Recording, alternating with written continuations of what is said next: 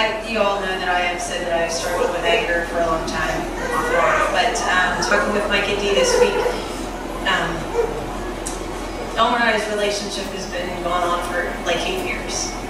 And for whatever reason, there's always an excuse that we are not fully together. Dee said something to me the other day that um, we would be a power couple for God. Because he's on fire. Literally, I up here about half an hour ago. But um, we both want this. We both love the Lord. We're so thankful to be here. We're thankful for the healing school. And on our way here, we're talking about calling it quits. So we know that the devil, because we were coming and we're hungry and we want this, that he was coming at us, coming at us. And I whispered in Homer's ear, I said, I don't feel like I should be here. I need to leave. I need to leave.